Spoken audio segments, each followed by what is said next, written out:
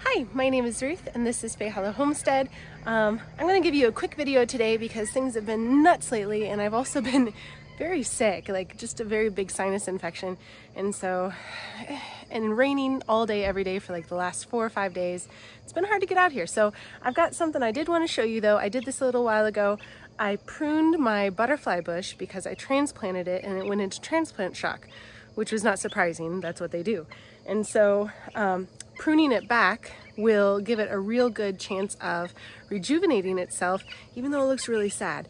So let me show you how great uh, it looks after, and then let me show you what I did before in order to get that prune. You can see it is looking super sad and I've decided to uh, cut it back because anytime you transplant something, uh, most of the time you're going to end up uh, cutting off some of the roots. And so uh, when I transplanted this, apparently that happened and the roots are not big enough to support this huge uh, bush anymore. And so I'm going to prune it back uh, pretty hard actually, uh, which will give it chance to just kind of recuperate and and become alive again and it will be able to start putting on new growth and really set its roots into where it is right now without worrying about struggling so hard.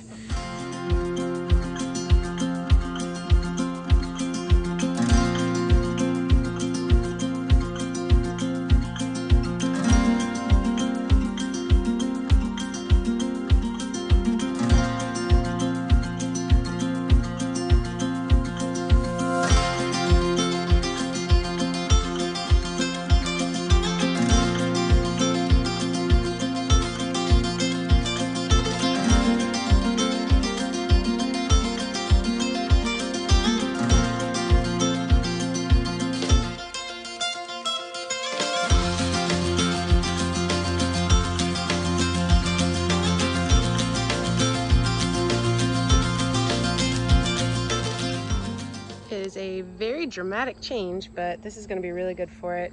You can see there's already some new growth coming on it, so that's good.